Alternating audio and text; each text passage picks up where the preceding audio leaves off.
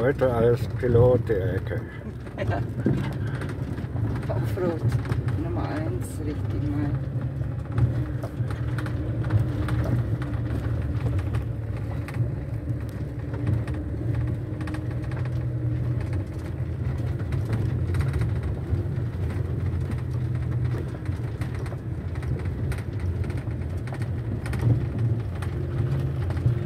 Ecke macht das prima. Ich bin ja noch nicht zu den ganz harten Stellen gekommen. Trotzdem.